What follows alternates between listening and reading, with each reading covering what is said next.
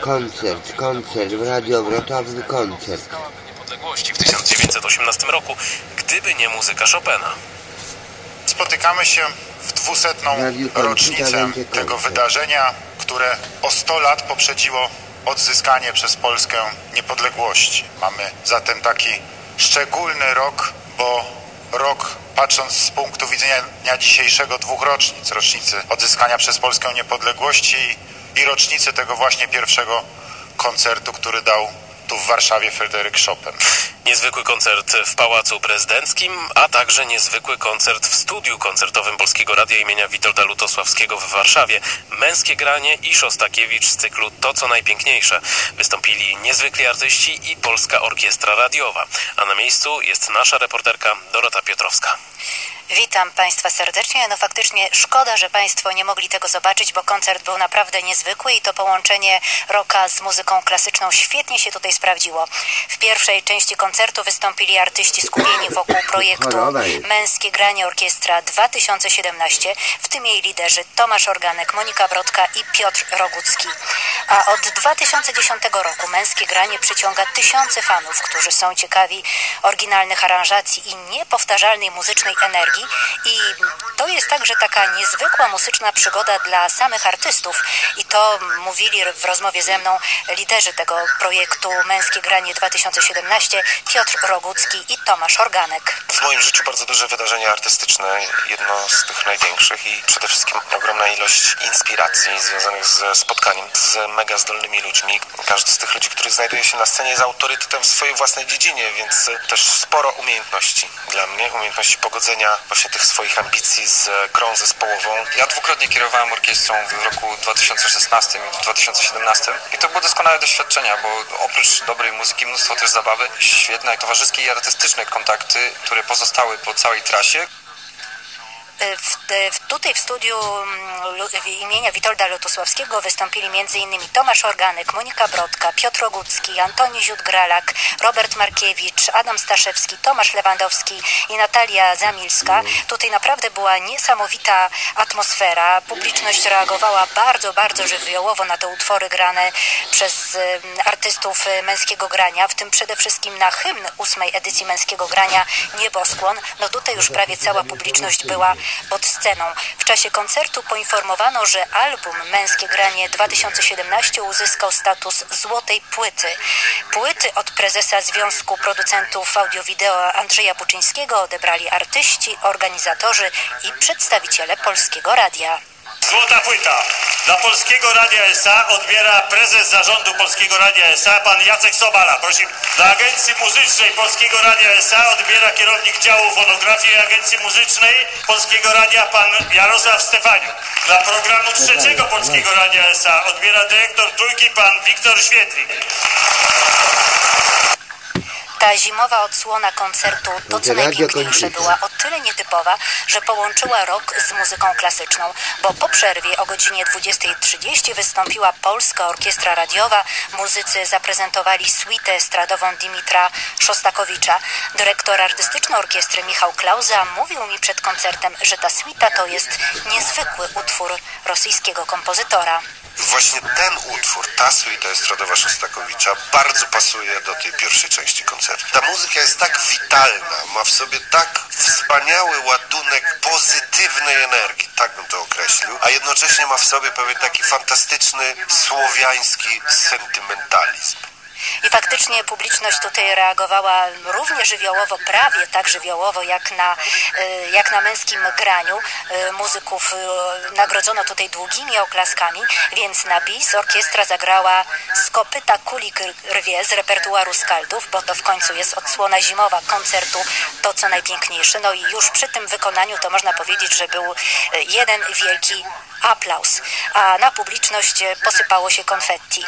Tym koncertem zachwycony zadowolony był m.in. obecny tutaj w studiu Lutosławskiego przewodniczący Rady Mediów Narodowych Krzysztof Czabański. Piękny koncert, piękny koncert i bardzo ciekawy pomysł, żeby połączyć te dwa rodzaje muzyki. Wprawdzie z przerwą, ale jednak. I myślę, że to jest też fajna nauka dla słuchaczy i dla tutaj widzów, ponieważ widzą, że nie rodzaj muzyki jest ważny, tylko jej mistrzostwo. Jeżeli ona jest bardzo dobra, to czy ona jest rockowa, czy ona jest klasyczna, to nie ma żadnego znaczenia. Po prostu z przyjemnością się jej słucha. I podobnie mówili widzowie dzisiejszego koncertu, a tych, którzy nie mogli tego wysłuchać, zapraszamy na retransmisję do programu drugiego i czwartego. O czym opowiadała nasza reporterka Dorota Piotrowska. Bardzo serdecznie dziękujemy. Polskie Radio 24. Słowem wszystko. Czas na wiadomości sportowe. Tomasz Kowalczyk, zapraszam. W meczach 24. kolejki piłkarskiej Ekstraklasy Termalika Nieciecza wygrała z Sandecją 1 do 0. Pogoń Szczecin pokonała Wisłę Płock 2-1, a Krakowia remisuje do przerwy z Legią Warszawa 0 do 0. W tabeli na tę chwilę Jagiellonia Białystok i Legia Warszawa mają po 45 punktów. Trzeci Lech Poznań ma z kolei 40 oczek. W lidze siatkarskiej Zaksa Kędzierzyn-Koźle wygrała z Łuczniczką Bydgoszcz 3 do 1 i było to spotkanie 22 kolejki rozgrywek. W pozostałych sobotnich meczach Jastrzębski Węgiel pokonał Indyk Pol AZS Olsztyn 3 do 0. BBTS Bielsko-Biała zwyciężył Oniko Warszawa 3-1 i przerwał serię 13 zwycięstw warszawskiej ekipy z rzędu. Espadon Szczecin przegrał z MKS-em Będzin 1 do 3, a Warta Zawiercie uległa Kuprum Lubin 2 do 3. W tabeli prowadzi Zaksa Kędzierzyn-Koźle, która ma 62 punkty i o 13 oczek wyprzedza Oniko Warszawa. Mariusz Prudel i Jakub Szałankiewicz triumfowali w rozegranym na irańskiej wyspie Kisz turnieju World Tour w siatkówce plażowej. W finale Polacy pokonali Łotyszy Martinsa Plawinsa i Edgarsa Toksa 2 do 0. Luiza Złotkowska zajęła dziewiątą pozycję w biegu ze startu wspólnego podczas zimowych Igrzysk Olimpijskich w Pjongczangu. Druga z reprezentantek Polski w łyżwiarstwie szybkim Magdalena Czyszoń nie awansowała do finału. Złotkowska po rywalizacji w finale przyznała, że ten start mógł ułożyć się dla niej dużo lepiej.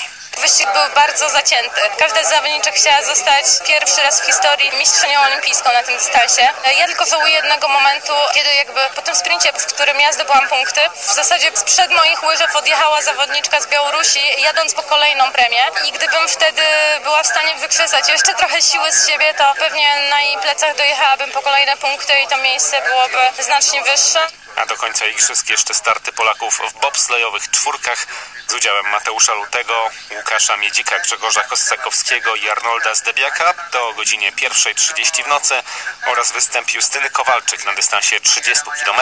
Początek jutro o godzinie 7.15. Polskie Radio 24. Słowem wszystko. Północ, południe. Informacyjny Polskiego Radia 24. A w drugiej części magazynu Północ-Południe przechodzimy do publicystyki, przechodzimy do komentowania wydarzeń, o których mówiliśmy w części pierwszej. Na początek polityka krajowa. Dostaliśmy dzisiaj bowiem sondaż, estymator, pracowni estymator sondażowej dla portalu dorzeczy.pl. No i w tym sondażu Prawo i Sprawiedliwość ma rekordowe poparcie, poparcie przekraczające 50%, chociaż warto zaznaczyć tutaj, że nie są brani pod uwagę, nie są brane pod uwagę osoby niezdecydowane. O tym, co to oznacza i czy faktycznie możemy się spodziewać, że aż tak duże poparcie będzie miało Prawo i Sprawiedliwość w nadchodzących wyborach. Już teraz porozmawiamy z doktorem Sławomirem Sowińskim, politologiem z Uniwersytetu Kardynała Stefana Wyszyńskiego. Witam serdecznie, panie doktorze.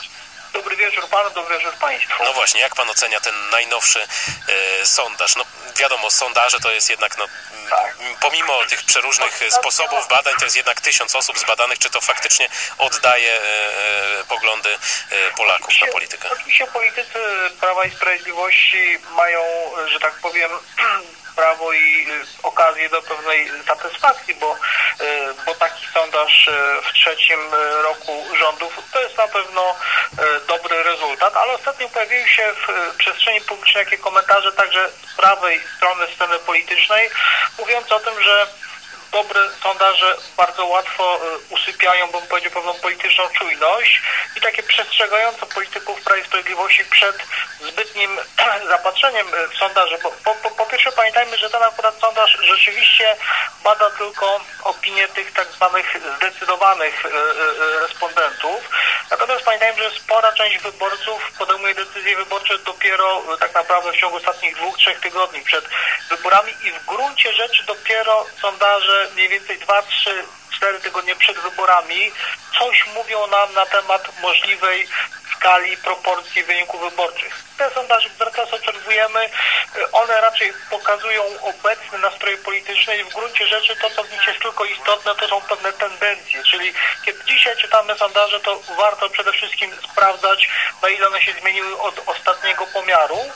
I w tym, w takiej perspektywie mamy w tej chwili mniej więcej stabilizację, to znaczy y, takie badania e, dotyczące całego, że tak powiem, całej próby wyborczej wszystkich, wszystkich wyborców, nie tylko zdecydowanych, mówią, że PiS ma w tej chwili 40 kilka procent poparcia, Platforma około 20, natomiast no, pewne zawirowania dzieją się e, bardziej, bardziej z tyłu.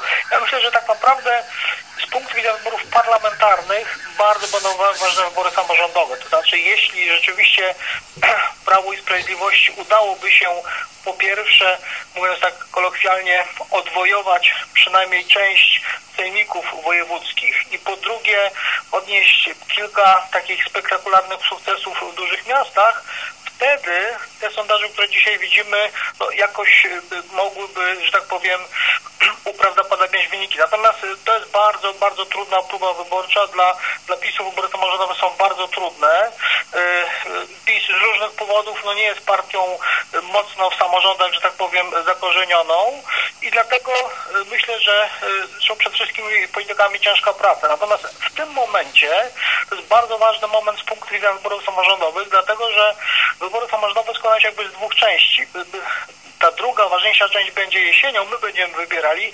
Teraz natomiast jest bardzo ważna część, bo politycy, samorządowcy wybierają listy wyborcze, na które, że tak powiem, gotowi są postawić w jakimś sensie swój polityczny los.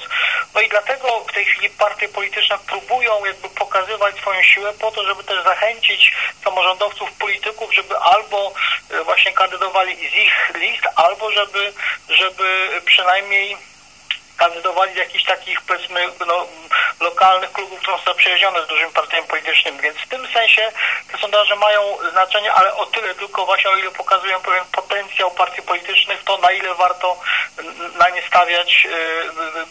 Myślę tu właśnie o kandydatach na radnych, na, na burmistrzów i tak dalej.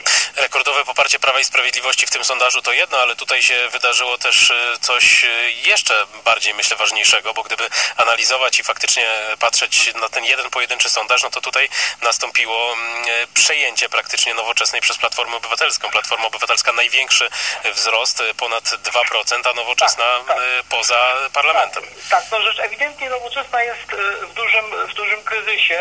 Ta jesienna zmiana przywództwa politycznego, ona dawała nowoczesnej pewne szanse. Zawsze nowy przywódca ma taki, bym powiedział, moment, taką rentę pewnej, pewnej świeżości, pewnej nowości, no ale jak widać z różnych powodów nie udało się tego polityką nowoczesnej wykorzystać i rzeczywiście nowoczesna jest chyba w najtrudniejszej sytuacji, zwłaszcza, że te wybory samorządowe dla nich będą trudne przede wszystkim, ponieważ nowoczesna prawie w ogóle nie ma żadnych struktur lokalnych, samorządowych, no i w tym sensie ten sondaż to jest jeszcze jeden argument, który myślę ułatwiał będzie pozycję taką negocjacyjną Grzegorza Schetyny właśnie w negocjacjach z nowoczesną dotyczących warunków pewnej, pewnej koalicji, która będzie w różnych miejscach zawierana. Skoro już rozmawiamy o opozycji, to jeszcze krótko mm, skomentujmy Radę Krajową Platformy Obywatelskiej, która się dzisiaj odbywała. No chociażby głośno bardzo jest na temat tej wypowiedzi Grzegorza Schetyny, który zapowiedział, że będzie, rozpocznie Platforma Obywatelska wielką, merytoryczną, narodową debatę o e, wprowadzeniu euro. Grzegorz Schetyna uważa, że Prawo i Sprawiedliwość obrzydziło wyborcom e, ten temat, a oni chcą to zmienić. Jak pan sądzi? No, no po pierwsze, rzeczywiście Platforma próbuje trochę wyjść naprzeciw pewnemu zaniepokojeniu Polaków związanemu z e, polityką zagraniczną. I tutaj dość ręcznie jakby przerzuca tą piłkę na, na, na pole gry takiej europejskiej, bo to jest i kwestia euro, ale też zwracam uwagę kwestia budżetu, prawda? Platforma dzisiaj mówi, no, że będzie negocjowany budżet i że Prawo i Sprawiedliwość pewnie nie wynegocjuje takiego dużego budżetu jak, jak Platforma i ten nowoczesny konserwatyzm. To też jest myślę ważny taki moment. Platforma będzie próbowała przejąć część wyborców konserwatywnych, którzy nie do końca odnajdują się, odnajdują się w ofercie PiSu. No i jeszcze mm, mamy też ważne wydarzenia personalne, jeśli chodzi o tę Radę Krajową, bo pojawiła się Elżbieta Bieńkowska, no ale przede wszystkim pojawił się Radosław Sikorski, który nie tylko samą swoją obecnością wzbudził wielkie emocje, no ale także mm, oczywiście tradycyjnie wypowiedziami mówił chociażby mm, do Prawa i Sprawiedliwości w kontekście polityki zagranicznej. Koledzy z prawicy, jak wam wszyscy mówią, że jesteście pijani, to trzeba się przekimać. No tak, ja nie chcę, że tak powiem, odnosić się do, tu, do poszczególnych e, wypowiedzi, to niech wyborcy oceniają. Natomiast ja myślę, że to sięgnięcie po, po te, powiedzmy, nazwiska kojarzone z Platformą sprzed roku 2014, one oczywiście są obarczone pewnym ryzykiem, ale z drugiej strony to chyba też chęć jakby no, budowania w Platformie pewnego, znaczy pewnego uspokojenia sytuacji. Ja nawet myślę, Ale że to bez- Radosław Sikorski ma uspokoić nie, sytuację. znaczy, ja, myślę, ja myślałem bardziej o pani komisarz Wieńkowskiej, znaczy w tym sensie, że to być może jest jakaś próba też budowania, nie wiem, jakiegoś porozumienia z Donaldem Tuskiem na przykład, prawda? Znaczy w, ty- w, tym, w, tym, w, tym, w, tym, w tym sensie. Natomiast to Radosław Sikorski jest barwnym politykiem i e, no, ma takie wypowiedzi, jakie ma, no wyborcy muszą je po prostu e, ocenić. E, to jest ich rola w tym momencie. Ale myśli pan, że Radosław Sikorski swoim ewentualnym powrotem do polityki zaszkodziłby Platformie, czy pomógłby jej? Ja myślę, że by, by politycy Platformy sądują różne scenariusze. No, by- tak samo jak inni politycy będą na pewno teraz śledzili starannie różne sondaże, będą, obserwowali i ja myślę, że tu nie ma żadnych, że tak powiem, rozstrzygniętych, e, przesądzonych już w tej sprawie decyzji, ale też no, nie spodziewam się, żeby pan minister Sikorski stał się w tej chwili filarem, prawda, jakimś e, Platformy. To myślę, że raczej e, w tej chwili nie wchodzi w grę. Doktor Sławomir Sowiński, politolog z Uniwersytetu Kardynała Stefana Wyszyńskiego. Bardzo serdecznie dziękuję za ten komentarz, panie doktorze. Dobrej nocy. Północ, południe. Program informacyjny Polskiego Radia 24. W magazynie Północ Południe kolejna rozmowa i mm, najświeższa praktycznie informacja, a mianowicie film Twarz w reżyserii Małgorzaty Szumowskiej został dziś nagrodzony Srebrnym Niedźwiedziem na 68. Międzynarodowym Festiwalu Filmowym w Berlinie. My mamy połączenie z kolejnym gościem, którym jest Joanna Sławińska, dziennikarka Polskiego Radia, która także zajmuje się kinematografią. Bardzo serdecznie witam. Dobry wieczór. No właśnie, powinniśmy się cieszyć, takie mam pytanie, bo z jednej strony oczywiście sukces e, naszego rodaka, tylko w jakim świetle nas ten film pokazuje, bo tutaj jeśli chodzi o ten, ten niemiecki festiwal filmowy, no to bywało różnie, jeśli chodzi o te nagrody dla Polaków. Ja myślę, że przede wszystkim powinniśmy się cieszyć, dlatego że to jest ogromny sukces. Rzeczywiście Srebrny Niedźwiedź dla najlepszego filmu to jest y, druga nagroda co do ważności na tym festiwalu. Najważniejszą jest oczywiście Złoty Niedźwiedź. I Którą tutaj- otrzymał film? y, którą otrzymał film y, rumuński Touch Me Not. To jest rumuńskiej artystki wizualnej Adiny Pintil, jeśli dobrze wymawiam jej nazwisko. Coś pomiędzy dokumentem a fabułą. Opowieść o granicach, jakie ludzie wyznaczają sobie w takim kontakcie cielesnym, w, te, w takiej bliskości fizycznej, e, o problemach, które z tym mają i jest opowieść o takiej grupie ludzi, którzy właśnie doświadczyli tutaj czegoś złego. To jest troszeczkę film terapeutyczny, to bardzo ciekawy eksperyment. Mm, Co jest bardzo interesujące, to no właśnie te dwie najważniejsze nagrody zgarnęły kobiety Mm, e, i to jest taki trochę też czas, że, że jest to czas kobiet w kinie i rzeczywiście jest też pewna taka skłonność do tego, żeby nagradzać kobiety, ale na pewno pojawiły się w kinie europejskim e, i światowym zdolne reżyserki, młode reżyserki właśnie średniego pokolenia lub młode i do nich należy Małgorzata Szumowska. E, Czy jest to sukces? Oczywiście, że jest to ogromny sukces, jest to wielka promocja polskiego kina. Małgorzata Szumowska podkreśla, że taka opowieść, która, e, która pokazuje Polskę trochę prowincjonalną, ale jak ona mówi, ona ma tę Polskę w sobie. To znaczy, e, to jest opowieść o, mm, o wypadku, któremu ulega mężczyzna i następnie e, przechodzi operację transplantacji twarzy, dlatego że traci twarz w tym wypadku. I tak naprawdę należy całą tę opowieść traktować bardzo symbolicznie, bo to nie jest taka zwyczajna, realistyczna opowieść jeden do jednego, tylko reżyserka wykorzystała faktyczną e, historię, e, która się wydarzyła e, pierwszej udanej transplantacji twarzy w Polsce e, chyba 4 lata temu miała miejsce, e, do tego, żeby opowiedzieć e, o symbolicznej, e, znaczy symboliczną opowieść o tym, o naszej tożsamości, o tym, jak postrzegają nas inni w momencie, kiedy coś się w nas zmienia, no tutaj radykalna zmiana twarzy i ten człowiek zaczyna być traktowany jak obcy we własnej, e, własnej miejscowości, E, a kim się on staje wobec tego dla samego siebie, skoro widzi, że otoczenie zmienia do niego stosunek, prawda? Więc e, naprawdę nie dopatrujmy się tutaj takiej bardzo realistycznej opowieści czy krytyki e, pod adresem Polski. To jest po prostu symboliczna opowieść o nas ludziach i ona mówi, że e, nawet jak odbierała tę nagrodę, powiedziała, że opowiada o problemach, które dzieją się nie tylko w Polsce, ale też na całym świecie. Także jest to kino e, takie bardzo uniwersalne, tak bym powiedziała. No to przypomnijmy może jeszcze, kim jest Małgorzata Szumowska i jaki ma dorobek, bo to i nie pierwsza nagroda tej reżyserki na tym właśnie no festiwalu. To jest właśnie niesamowite, że rzeczywiście ona, w- ona w 2015 roku też otrzymała Srebrnego Niedźwiedzia, wtedy za reżyserię, można powiedzieć tylko za reżyserię, a teraz już za najlepszy film. E, No i wtedy była to opowieść pod tytułem e, Body Ciało i w obydwu przypadkach, co jest bardzo, tam opowiadała o ciele, tu opowiada o twarzy, prawda, ona ma taką, e, taką zdolność do opowiadania pewnymi mm, konstruktami, wymyśla pewien konstrukt, ale później obudowuje to taką ciekawą historią, którą bierze czasami właśnie z, no nie wiem, z pracy, z jakiegoś takiego życia codziennego i robi z tego opowieść symboliczną. I w obu przypadkach, i tu i tam, jednocześnie wprowadza do tego, do tej opowieści humor. To znaczy ona, mm, ona podkreśla, że w, zwłaszcza w tym ostatnim filmie, e, właśnie w, w twarzy, e, w momencie, kiedy już robi się jakoś sentymentalnie, bo to jest opowieść o młodym chłopaku, który zginął w wypadku, e, znaczy nie zginął, przepraszam, miał wypadek i stracił twarz i, i traci wszystko, no, traci dziewczynę. Jest to opowieść troszeczkę jednak smutna momentami, prawda, i sentymentalna. W tym momencie ona, kiedy już widz zostaje właśnie wprowadzony w taki stan, ona wprowadza elementy humoru. No to jest cały jej, e, jej sposób opowiadania. Myślę, że to jest takie kino bardzo, e, bardzo współczesne i naprawdę apelowałabym, żebyśmy odbierali to, tę opowieść bardzo symbolicznie, bo to jest jednak sztuka filmowa, to nie jest reportaż, to jest opowieść, która ma przekazywać jakąś myśl filozoficzną, a tylko osadzona jest w określonych realiach, prawda? No cóż, pozo- pozostaje nam tylko nadzieja, że za granicą także będą patrzeć na to e, symbolicznie tylko i wyłącznie i że jednak nie będzie to utrwalać pewnych mitów na temat Ja chciałabym jeszcze tylko podkreślić jedną rzecz, która myślę, że jest też ba bardzo warta e, zauważenia, że dwie pierwsze nagrody, nie tylko, że zdobyły kobiety, ale kobiety z naszego regionu Europy. To znaczy, że okazuje się, że ta nasza Europa, e, która jeszcze niedawno w piętkę goniła e, no, światową kinematografię, e, okazuje się, że odnosi ogromne sukcesy. Akurat kino rumuńskie już od, od kilku lat jest bardzo modne.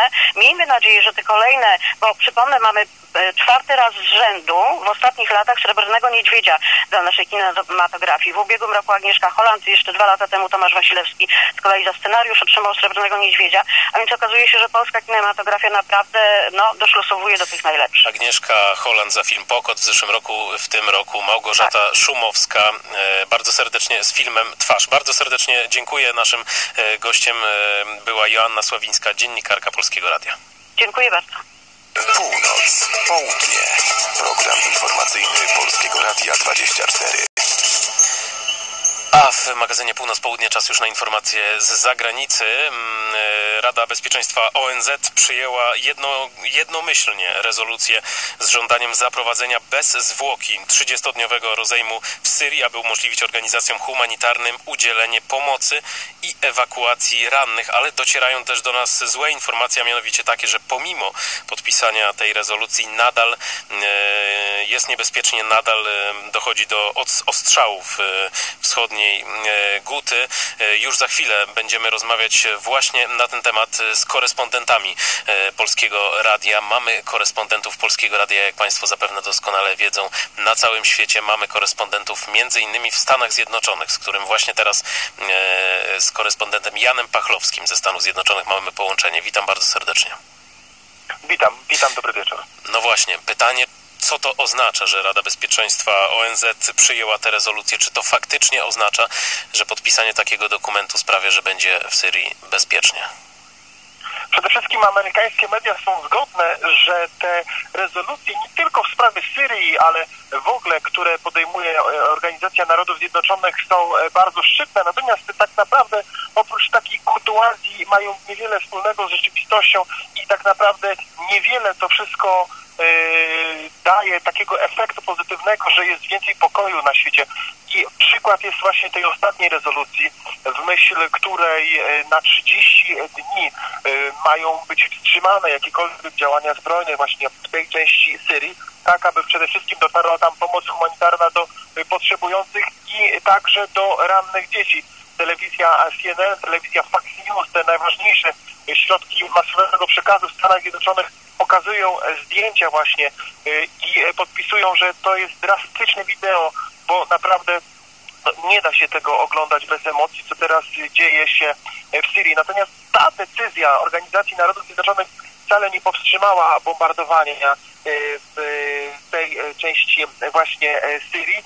I e, czy to przyniesie skutek? E, myślę, że e, może nie pokażą tego najbliższe godziny, ale najbliższe dni, czy rzeczywiście przez te 30 dni pokój będzie przestrzegany. Natomiast Donald Trump w takiej specjalnej wypowiedzi podczas właśnie spotkania z dziennikarzami z premierem Australii, potem na Twitterze nazwał między innymi Rosję i e, Syrię, czyli reżim Bashira al-Assada, że ich działania są po prostu haniebne i prowadzą do e, klęski e, humanitarnej. Jednak tutaj e, Donald Trump podkreśla, że e, wojska Stanów Zjednoczonych nie chcą się wtrącać w ten wewnętrzny konflikt Stanów Zjednoczonych, a przede wszystkim e, są e, po to, aby unieszkodliwić e, państwo islamskie terrorystów, e, którzy stanowią jedno z największych zagrożeń właśnie dla e, Stanów Zjednoczonych e, będą się skupiać działania e, wojsk e, amerykańskich e, w Syrii.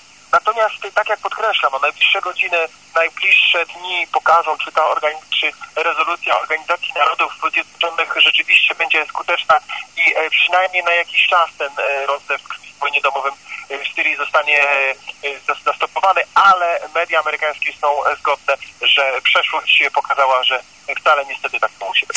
Jan Pachlowski, korespondent Polskiego Radia ze Stanów Zjednoczonych. Bardzo serdecznie dziękuję za te relacje ze strony amerykańskiej. No ale właśnie, jest jeszcze e, strona, no nie tylko druga, nie tylko strona rosyjska czy strona reżimu Bashara al-Assada, ale tam jest wiele przeróżnych tych e, stron konfliktu. Są rebelianci, jest państwo islamskie i tak dalej, i tak dalej. Ale my zobaczmy teraz, e, jak sprawę tej rezolucji Rady Bezpieczeństwa ONZ komentuje, no właśnie, jedna z tych stron, strona bardzo istotna, czyli strona rosyjska. Z Mosk w Moskwie jest e, korespondent Polskiego Radia Maciej Jastrzębski. Witam bardzo serdecznie.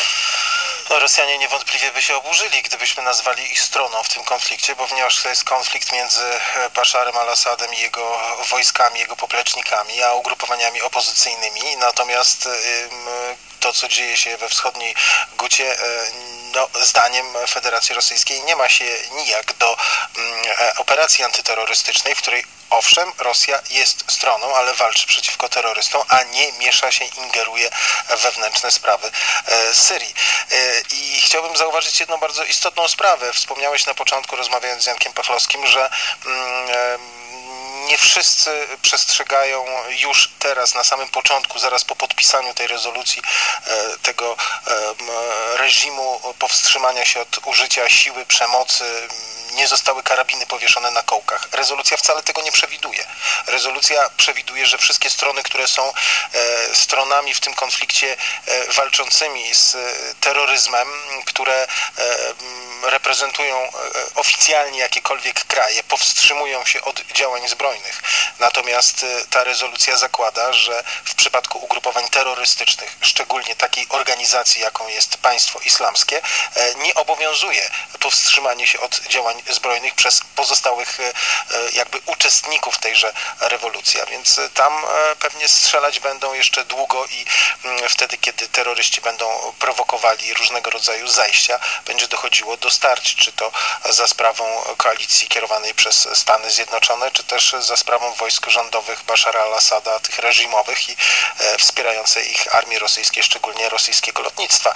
Te obawy, o których wspomniałeś, wyrażał już wczoraj Władimir e, Putin i także minister spraw zagranicznych Federacji Rosyjskiej Siergiej Ławrow, po tym jak otrzymali e, panowie list od Angeli Merkel i mm, Emmanuela Macrona w sprawie przyłączenia się poparcia rezolucji Rady Bezpieczeństwa ONZ, Siergiej Ławrow powiedział, a może by tak Stany Zjednoczone i koalicja e, amerykańska zagwarantowały że jednak współpracujące z nimi ugrupowania opozycji antyasadowskiej powstrzymają się od działań zbrojnych.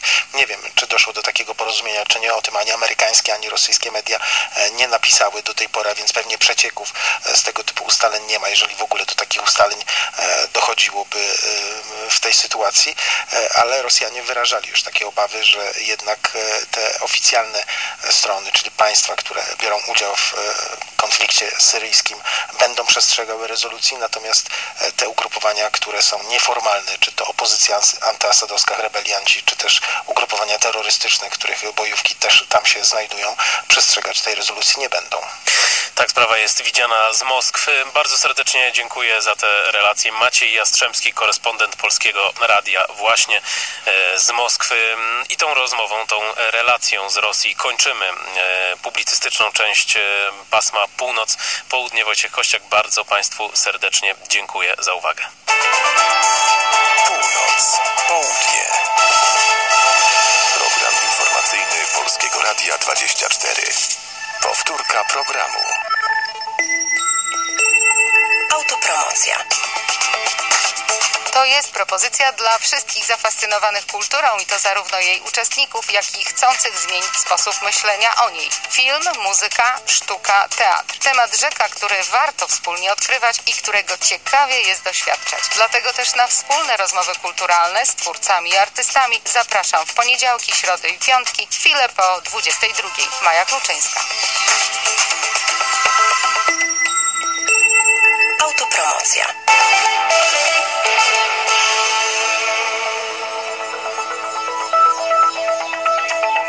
Tu Polskie Radio 24. Zbliża się szósta.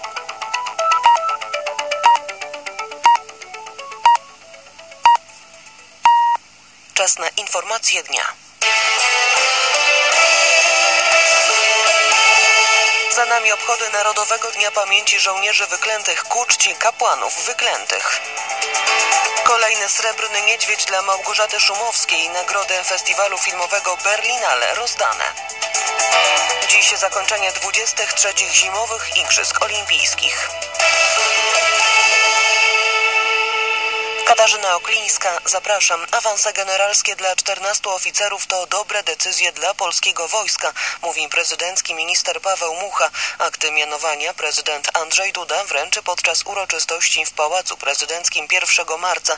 Nominacje trafią do zasłużonych osób, mówi Paweł Mucha. To jest bardzo dobra informacja, dlatego że mamy nominacje generalskie. Pan prezydent potwierdził to, że te nominacje zostaną wręczone 1 marca. Między innymi będziemy mieli czterogwiazdkowego generała, szef sztabu generalnego, pan generał Suraski otrzymuje nominację. Zasłużeni oficerowie, generałowie to są zarówno powołania na pierwszy stopień generalski, jak awanse także w ramach korpusu generalskiego. Nominację na stopień generała otrzymał szef sztabu generalnego Wojska Polskiego, generał broni Leszek Surawski. Wojskowe awanse odbierze też 13 oficerów. Wśród nich dowódca generalny rodzajów sił zbrojnych generał dywizji Jarosław Mika i dowódca operacyjny rodzajów sił zbrojnych generał dywizji Sławomir Wojciechowski na stopień generała broni. W Warszawie przy pomniku poległym i pomordowanym na wschodzie z okazji Narodowego Dnia Pamięci Żołnierzy Wyklętych zorganizowano uroczystości ku czci kapłanów wyklętych Stefana Niedzielaka, Stanisława Suchowolca i Sylwestra Zycha. Po tragedii żołnierzy wyklętych pojawili się ich kontynuatorzy, mówi przewodniczący Fundacji Niepodległościowej Tadeusz Stański. W tym roku postanowiliśmy uczyć księży pomordowanych, którzy walczyli o niepodległość, bo i ksiądz Suchowolec, i ksiądz Niedzielak, i ksiądz Zych polegli, pomordowani przez Służbę Bezpieczeństwa prawdopodobnie i do dzisiaj nikt nie poniósł żadnej odpowiedzialności. I sądzę, że to jest nasza odpowiedzialność i obowiązek, żeby tych sprawców wcześniej czy później znaleźć. List do uczestników skierował minister obrony narodowej Mariusz Błaszczak, a odczytał go minister Sebastian Chwałek. Dzięki świętu ustanowionemu z inicjatywy świętej pamięci prezydenta Lecha Kaczyńskiego przywracamy bohaterom tzw. Tak drugiej konspiracji należne miejsce w naszej historii. Chwała bohaterom powojennego podziemia antykomunistycznego. Cześć pamięci żołnierzy wyklętych. Główne uroczystości organizowane przez Społeczny Komitet Obchodów Narodowego Dnia Pamięci Żołnierzy Wyklętych zaplanowano 1 marca. Srebrny Niedźwiedź dla Małgorzaty Szumowskiej za film Twarz. W Berlinie rozdano nagrody festiwalu filmowego Berlinale. Złotego Niedźwiedzia otrzymał film duńskiej reżyserki Adiny Pintile zatytułowany Nie dotykaj mnie. The Silver Bear Grand Jury Prize goes to Twarz by Małgorzata Szumowska from Poland. Odbierając nagrodę, Małgorzata Szumowska stwierdziła, że jest wyjątkowo szczęśliwa. Zaznaczyła, że jej film porusza ważne problemy nie tylko w jej ojczyźnie, ale na całym świecie. Innym polskim akcentem był nagrodzony Srebrnym Niedźwiedziem za kostiumy rosyjsko-polsko-serbski film Dawłatow. Waldemar Maszewski, Polskie Radio, Berlin. To już drugi Srebrny Niedźwiedź Małgorzaty Szumowskiej. Trzy lata temu polska reżyserka odebrała nagrodę za film Body Ciało. Dziś zakończenie 23. zimowych Igrzysk Olimpijskich. Występy Polaków w Pjongczangu dobrze ocenia minister sportu Witold Bańka. Polacy zdobyli dwa medale, złoty i brązowy w skokach narciarskich. Biało-czerwoni mają jeszcze szansę poprawić ten dorobek, ponieważ w biegu na 30 km będzie startowała Justyna Kowalczyk. Osiągnięcia podczas Igrzysk są godne uznania, mówi Witold Bańka. Sport jest piękny, ale okazał się także niestety niesprawiedliwy i brutalny, co mieliśmy się okazję przekonać. No i w takim trudnym momencie z punktu widzenia psychologicznego oni jakby pokazali absolutną klasę, koncentrację na realizacji zadania, no i dwa medale, wielki sukces. Ceremonia zamknięcia 23. zimowych Igrzysk Olimpijskich rozpocznie się w południe naszego czasu.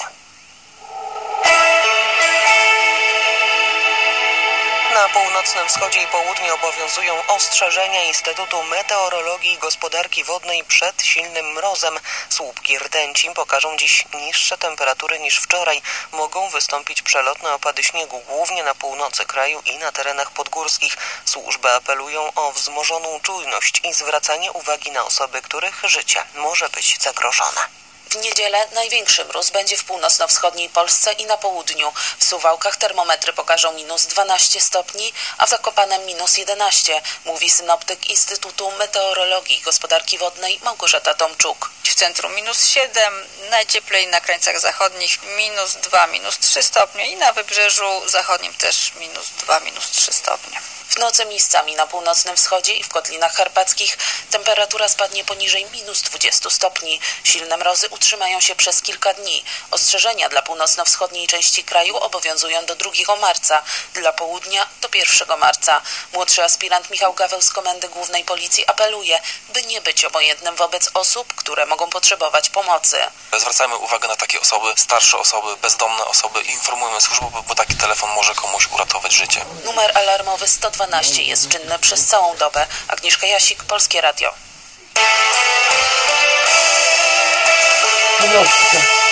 Polskie Radio 24. Słowem wszystko. 6 minut po godzinie 6 przy mikrofonie Maria Furdyna. Witam Państwa. Jest niedziela, 25 lutego, 56 dzień roku.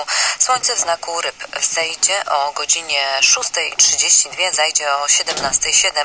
To oznacza, że dzień będzie trwał 10 godzin i 35 minut. Imieniny obchodzą Adam, Cezary, Modest i Wiktor. Wszystkiego najlepszego. Kalendarium historyczne. Dziś mija 76. rocznica powołania rozkazem naczelnego wodza generała Władysława Sikorskiego pierwszej dywizji pancernej. Na jej czele stanął generał Stanisław Maczek, jeden z najwybitniejszych polskich dowódców biorących udział w II wojnie światowej. Ale choroba, Pierwsza dywizja ale pancerna została powołana 25 lutego 1942 roku w Wielkiej Brytanii. Jej szlak bojowy rozpoczął się w sierpniu 1944 w Normandii.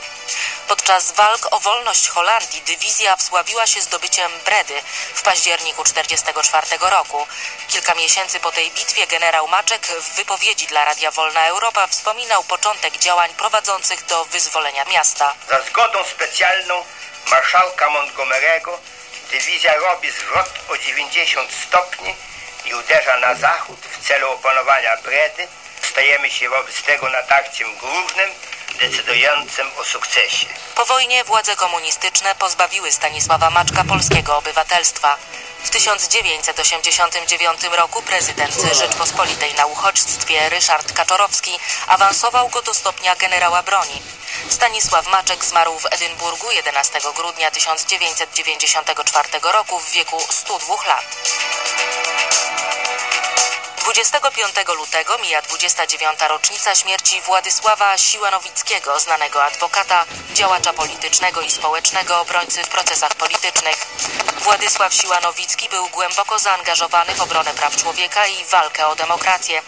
W 1989 roku wziął udział w obradach Okrągłego Stołu. Podkreślał wówczas, że poza rozwiązaniem pilnych problemów kraju, należy zająć się kwestiami, które przez 40 lat systemu komunistycznego w PRL nie były poruszane. Pierwsze to jest, proszę Państwa, zagadnienie naszego honoru narodowego, żeby wreszcie wyjaśnić sprawę Katynia, Ostaszkowa i Starowiecka.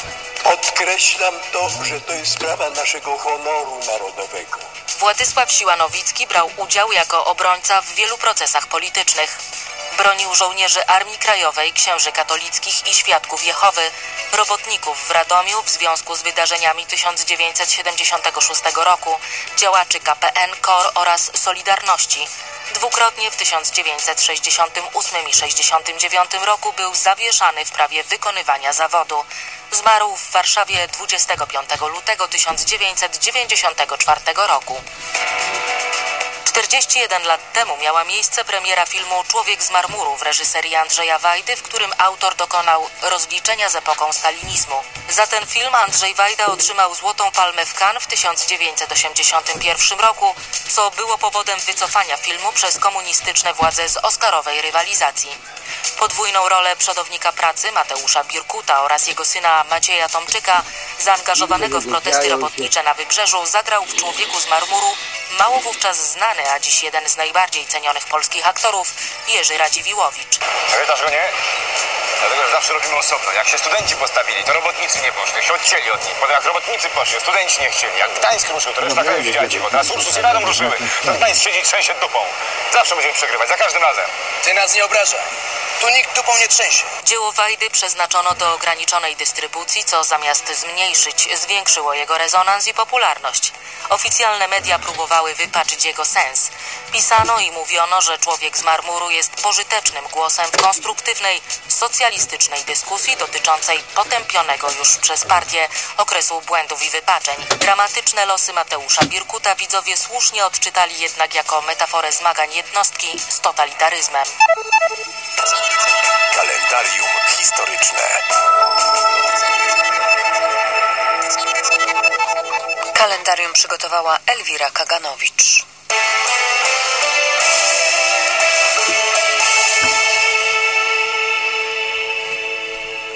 6.11. Trwa spór między Polską a Izraelem w sprawie nowelizacji ustawy o Instytucie Pamięci Narodowej. Profesorowie Andrzej Nowak i Robert Frost napisali list do premiera Mateusza Morawieckiego. Uważamy, że prawo w ogóle, w szczególności ta nowelizacja, nie są najlepszym sposobem postępowania w tej sprawie, a także, że uchwalenie nowelizacji okazało się już faktycznie przeciwskuteczne, pobudzając wrogie wobec Polski wystąpienia za granicą. Piszą w liście otwartym profesorowie Andrzej Nowak i Robert Frost i apelują, by zrewidować polskie stanowisko w sprawie tej ustawy. O sytuacji wokół nowelizacji ustawy o IPN-ie mówił na naszej antenie Adrian Stankowski z Gazety Polskiej Codziennie. Rozmawiała z nim Małgorzata Łopińska. Przeczytałam bardzo ciekawy wywiad z profesorem Bogdanem Musiałem, takim badaczem Niemiec, tak, który też no, w dość bardzo jednoznacznych słowach mówi o tym, że jeżeli ustawa o Instytucie Pamięci Narodowej nie zostanie, znaczy w tym, co nas w tej chwili interesuje, e, jakoś zmieniona, no to e, wizerunkowo roz, zostaniemy rozjechani. To jest cytat z profesora Musiała. No a z kolei nasza strona rządowa i minister Czaputowicz mówi, że wolność słowa tak, ale mamy prawo nawet ustawowo bronić swojego dobrego imienia. W podobnym tonie w ostatnim wywiadzie dla Bloomberga wypowiada się premier Morawiecki, który wręcz sugeruje, że no po prostu robimy to, żeby zapobiec wzrostowi nastrojów antypolskich w świecie. Czy rzeczywiście obserwujemy y, wzrost takich nastrojów antypolskich? No niestety wylała się taka beczka z, z antypolonizmem, o ile antysemityzm oczywiście jest czymś obrzydliwym i, i dla mnie niedopuszczalnym i w ogóle no, to szkoda czasu, żeby o tym mówić. Natomiast e, równie obrzydliwy jest e, antypolonizm. E, tutaj ścierają się e, no, dwie postawy, tak? E, czy należy w tej całej sprawie, której nie zaczęła polska strona, e, bo e, no, p- ustawa była procedowana przez prawie dwa lata i naprawdę było to dość, e, znaczy lojalny partner nawet jak się z czymś bardzo nie zgadza, to po prostu wysyła jasne sygnały, że No ale profesor e, uprzedza musiał, mówi, że brał udział w różnych debatach w związku z, jeszcze przed, zanim ta ustawa została już uchwalona. W dyskusjach był proszony o wypowiedzi i przestrzegał. Znaczy, to, to, to teraz już mleko się rozlało, trzeba reagować tak, e, Na to, co mamy. mając, mając na uwadze strategiczny, długofalowy interes Polski.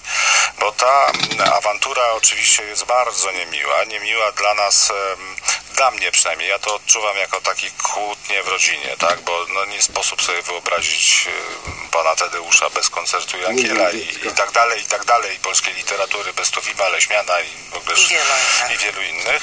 E, więc to troszkę tak nas, na, nam wybuchł taki granat w ręku, które, któregośmy się kompletnie nie, nie spodziewali.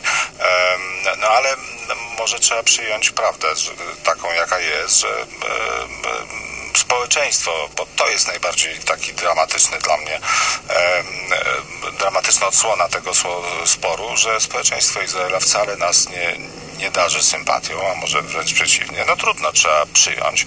Podobnie jak po I wojnie światowej e, nasi bracia Litwini okazało się, że zupełnie nas nie darzą sympatią, co było zaskoczeniem dla większości po, Polaków.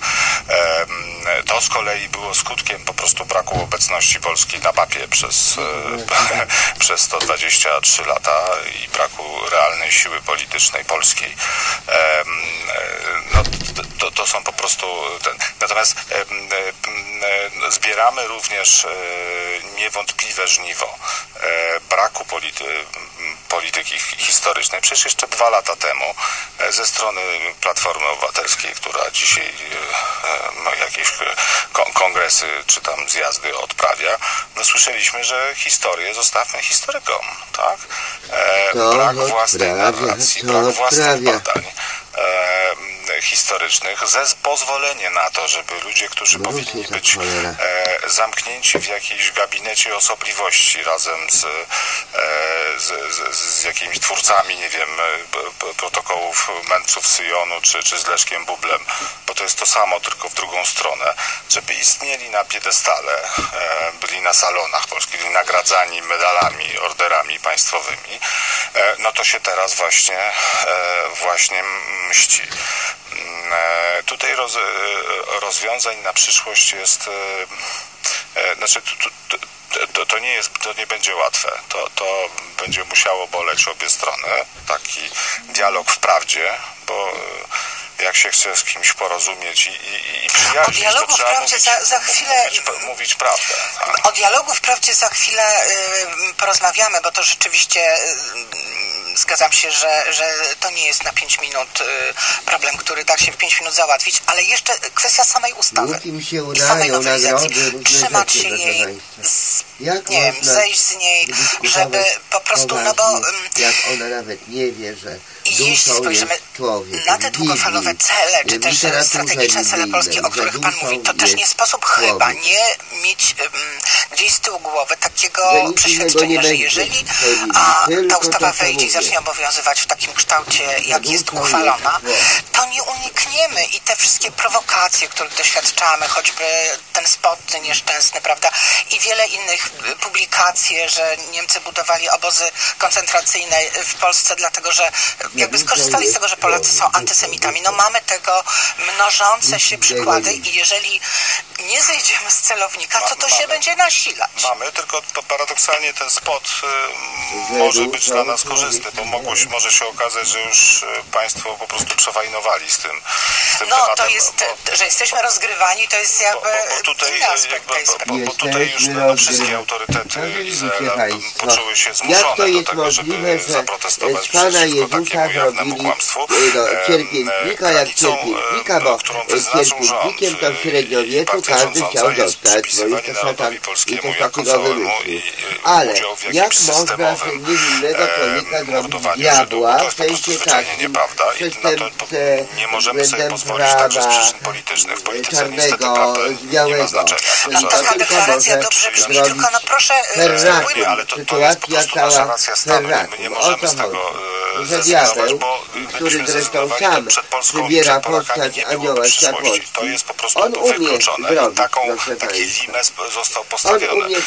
E, Zwrócę uwagę na przemówienie No e, więc premiera Mateusza. Morawieckiego, który kilkakrotnie używał właśnie sformułowania systemowe e, zabijanie, którego to sformułowania miał użyć premier Netanyahu w rozmowie telefonicznej. To No ale z otoczenia premiera Netanyahu też popłynęły takie głosy, że, znaczy z otoczenia Morawieckiego po rozmowach z Netanyahu, że jego będzie też ciężko przekonać, bo on w święcie w to wierzy, że, że Polska systemowo zabijała niewierzy. No to Diabeł to jest on. potrzebny jest, e, że rzeczywiście jest potrzebny dialog. Niestety nie ma partnera jak do tej pory to w, jest tym- w tym dialogu, ale potrzebna też jest pewna stanowczość. Dla mnie e, te słowa premiera Morawieckiego na, na konferencji w Monachium o tym, że Żydzi również byli e, współsprawcami e, zbrodni. Oczywiście, to była wojna. Tak jest, nie To były jak przypadkowe. mamy Moim zdaniem rozmawiać, to ja to interpretuję mamy rozmawiać e, z perspektywy no, wojny. list e, po- pokazujący, że my mamy bardzo dużą wiedzę choroba. na ten temat E, i 20 taka stopni. dalsza awantura e, No, może państwo była Izrael, wojna może i tam też było e, wszystko. bardzo drogo kosztować. I choroba, niestety, i- e, i minus, polityka, i 100 e, stopni, po- i dwie politykę należy i postrzegać jako, jako no, e, jak funkcję tak siły. E, i, i, e, wiesz, jeden na również- drugiego, Ale ta siła, no to siła to skuteczność, prawda? A, ja, a jaką skuteczność może mieć ta ustawa? No, no wyobraźmy sobie, staje, staje jakiś kolejny, nie wiem, e, prezydent Obama czy jakiś dziennikarz gdzieś publikuje tekst o polskich obozach śmierci. I już po tym, jak wchodzi w życie i zaczyna obowiązywać ta ustawa, no jaką skuteczność mogą mieć prokuratorzy z IPN-u, żeby... E, Ja powiem szczerze i, i jako prawnik z wykształcenia, że sobie i, i przez pewien czas praktyk e, w tym zakresie nie wyobrażam sobie kogokolwiek stojącego przed e, skaza, skazanego z tej ustawy. To jest tak trudne zadanie, udowodnienie, że pre factum e, I to- że celowo, świadomie, z premedytacją, a nie z niewiedzy, no to, to, porobione są tam różne No furtki. O, oczywiście, że tak. Co to znaczy artystyczne, co to znaczy naukowe, czy tu książki Tomasza Grossa są dziełami naukowymi, ja wątpię, no ale no, to, to są wszystkie pytania, które znaczy przed sądem w postępowaniu karnym to jest bardzo, znaczy to jest taki bieg z przeszkodami, którego sobie nie wyobrażam, żeby jakieś tak skazanie broni, bo ja jakiekolwiek, kiedykolwiek z tego wynikało. Co nie znaczy, że taki przepis ma nie istnieć, bo przepis karny jest manifestą, manifestacją e, woli narodu, tak? Woli tego, że, że takich kłamstw opowiadać nie wolno. E, bo to nie jest tylko kwestia sformułowania e, nieszczęsnego polskie obozy śmierci, no ale jak pani redaktor się podoba e, sformułowanie polskie komory gazowe? No, No tak, takie- można, a- no a- tak, a- jak się nie użyje obozu, to można użyć a, a, komory. takie, tak. a takie sformułowania też się pojawiały. Znaczy to, to, to naprawdę dosyć tego. Em, Polska ma prawo, zresztą wiele krajów ma podobnie brzmiące przepisy e, i podobny problem jest w, w ich realnej egzekucji. Tak? E, ile wiem, to jeden tylko historyk został w Wiedniu skazany z, z, z podobnego No więc jeżeli nie można nikogo przepisu, ska- a akurat to on jest naukowcem. No, No. Można mieć wątpliwości co do tam jego tych badań, ale, na, no, ale t- tutaj akurat zawiera, na, nasz polski przepis zawiera wyraźny kontratyp, tak, że, e, czyli okoliczność wyłączającą karanie, e, e, mówiącą o tym, że, że w ogóle nie, nie, ba- badania naukowe nie, pod, nie podlegają. Tego zresztą na żądanie strony izraelskiej. Ja dzisiaj wskazuję na te negatywne jakby strony e, sytuacji, w której się znaleźliśmy w, w związku z e, tą ustawą. I jeszcze powiem o jednym może nie najważniejszym, ale jakimś e, dość chyba jednak istotnym. E, Profesor Musiał e, powiedział, że IPN szalenie traci prestiż instytucji, która rzeczywiście bada, e, ma swoje zasługi, e, ma całą sieć powiązań międzynarodowych, naukowych, e, środowiskach naukowych cieszy się prestiżem w tej chwili. No, e, niektórzy naukowcy zrywają te kontakty. Czy to nie jest za duży koszt? Ja mam wrażenie, że trzeba po pierwsze troszkę ochłonąć